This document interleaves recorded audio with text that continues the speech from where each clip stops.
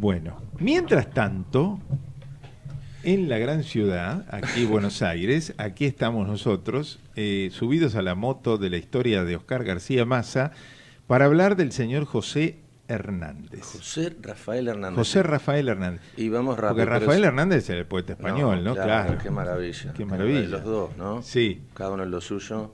Bueno, encendemos las motos, vamos hoy. Lo vi que estuvo en muchos lados, porque por en su Facebook, usted. Sí. Usted ah, sacaba fotos, estoy investigando, yo ya sabía, porque si seguís... Archivos, eh, biblioteca y el museo también. En Oscar, Pero el museo vamos a hacer un día un especial. ¿Todo esto para lo que vamos a escuchar ahora? Sí, aparte de lo que uno siempre ha leído, es tan, tan interesante. Por eso yo lo sigo de día para saber qué me espera hoy. ¿Qué te espera hoy? Cuando me suba a la moto Viste, ahí me, viste en el bosque. Me, han mandado unas citas del señor José Hernández para, para leer, bueno. Todo suyo. A, conocer este personaje que lo que más se sabe de él, Carlos, es sobre su libro, el famoso Martín Fierro. Pero fue mucho más, fue un, campesino primero, no hablaba de lo que no sabía. Eh, militar, también una actividad muy fuerte como militar, periodista también, muchísimo en contra de Sarmiento, de Mitre, sobre todo. Eh, político, fue senador, fue diputado siempre por la provincia de Buenos Aires, bueno, el gran poeta que conocemos, librero, agrimensor, taquígrafo del Congreso, de todo, un hombre muy inteligente, que nació en el 34, 1834, 24 años después de la Revolución y 29 años antes de la Constitución del 53, de la, él, vive ese periodo, ¿no? Lo bautizaron en la iglesia de la Merced, me da, ganas de, me da ganas de contar un poco de la iglesia, pero bueno, nos vamos a quedar, vamos a hacer más corto. Pero bueno, ahí, por ejemplo, se casó San Martín con Remedios de Escalada, y Bernardino Rivadavia con Delpino, o sea, esos dos grandes enemigos se casan en el mismo lugar y ahí, de ahí salió Liniers y comandó las, la, resistencia y las invasiones inglesas en 1806, la reconquista, ¿te acordás? El 12 de agosto. Bueno, de origen aristocrático, llamativamente, el autor de Martín Fierro, eh, era hijo... ¿eh? Curioso, uno podría pensar un hombre de campo, ¿no? Claro, Pero, pero vas a ver, eh, terminas, es, un hombre de campo, pero la, la mamá era Purredón. Los padres se dedicaban justamente, el papá al campo, entonces viajaba por distintas estancias. No lo criaron al principio, eh, lo crió una, tía de él de apellido Pueyrredón. A los seis años, en el 40, ya que directamente en manos de su abuelo paterno, que vivía en Barracas, y entonces ahí estamos con la moto, en otro colegio, no el Nacional de Buenos Aires, sino el Liceo Argentino. El Liceo Argentino era de Pedro Sánchez, también un, educador, un hombre de, muchísima cultura, que tuvo una actuación importante en la epidemia de fiebre amarilla y que mm, Hernández cuando pasa muchos años le consigue una pensión porque queda sin nada, pero era un colegio que él, que él tenía. Hasta, hasta los ocho, dos años. Si vos lo lees después, vos lo has leído, pero no solo el Martín Fierro, sino los escritos que vamos a leer y muchos otros, las capacidades de este hombre. Estudió un poco más, después volvió a estudiar un poco porque dos años después muere la mamá, entonces ya se tiene que ir del colegio, lo vemos ahí, va con el padre, recorre distintas estancias, ahí aprende todo lo relativo a la, a la tarea de, del campo, pero como campesino, no como gaucho, pero conoce a los gauchos, está todo el día con ellos, eh, cabalga, tiene, conoce todo de los gauchos, ¿no? Em, a los 23 años muere el papá y ahí empieza su carrera militar, siempre en el bando federal. Participa de un montón de batallas. Em, fue aliado de López Jordán, a diferencia, se está enfrentado a, Sarmiento. En el 56 comienza su actividad periodística, ya va evolucionando sobre el intelectual que nosotros conocemos. Em, en el 59 compone su primer cielito, el primer poema de él, y participa de las dos batallas más importantes de la época. Después va a ser una, cosa curiosa. En Cepeda, en el 59, y luego en la batalla de Pavón, las dos que tienen que ver con la secesión con la, de Buenos Aires, con la separación del Estado argentino, la lucha entre la Confederación y, Buenos Aires.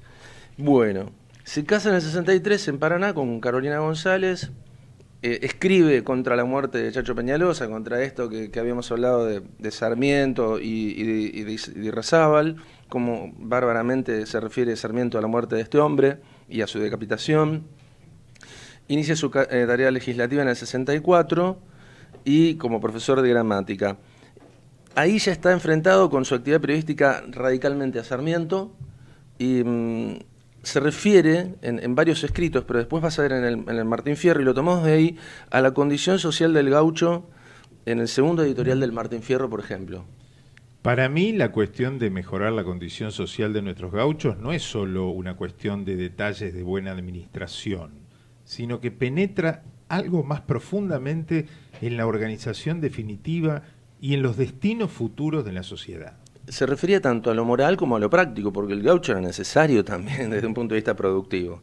Y está enfrentado naturalmente con la posesión de Sarmiento, es clarísimo, y, de otros eh, grandes próceres de la época pero también se refiere al, derecho a, estar en el marco de la ley y a la educación. Las garantías de la ley deben alcanzar hasta él, debe hacérsele partícipe de las ventajas que el progreso conquista diariamente.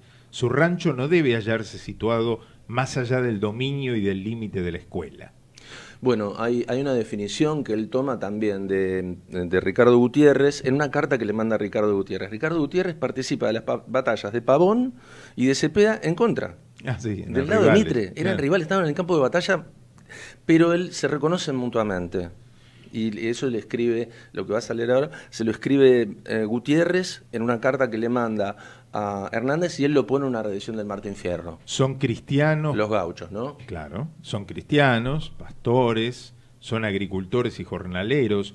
Los más famosos jinetes de la tierra son criaturas de un corazón noble y bravo, de una inteligencia sorprendente, son hospitalarios, sobrios y generosos y habituados a tan enormes trabajos rurales que son los únicos que no les sean disputados por el incesante concurso de la inmigración. Claro. En eso la inmigración no estuvo, claro. salvo algunas colonias, ¿no? Por ahí. Seguro, sí. Mm. Lo, último que, tenemos para comentar o, agregar como cita de él es cuando se refiere en un, en un punto a los indios aborígenes o pueblos originarios, como los quiera llamar. ¿Es un verso del Martín? Sí, un verso del Martín Fierro. Las tribus están deshechas, los caciques más altivos están muertos o cautivos, privados de toda esperanza, y de la chusma y de lanza ya muy pocos quedan vivos. Bueno, ahí está una de las contradicciones que le podemos encontrar, somos bien objetivos, es muy despectivo con el indio. Él defiende al gaucho, no al indio. Ningún gaucho tampoco quería a los aborígenes, a los indios, porque peleaban permanentemente con ellos. Y él era un campesino. Así que él rescata al gaucho, pero no a otros. Pero no al indio. E incluso participa en la reelección de Roca. Y, bueno, vamos, vamos cerrando. Tendríamos muchísimo más para decir. En el 74 todavía es legislador, tiene momentos en los que llega al apogeo económico porque eh, vende tierras y ya te digo que es eh, eh, agrimensor, los libros de Martín Fierro, cuando tiene una librería, hacía publicidad de todo lo que él hacía. Aparecían todas las cosas que él hacía en el, libro que se vendía eh, con los paquetes de yerba, en, todos lados. Bueno, un, grande, un hombre imprescindible de nuestra historia, que sintetiza, yo diría, la mirada social de una clase social aristocrática sobre los gauchos argentinos. La moto de Oscar García Massa, hoy presentándonos a José Hernández.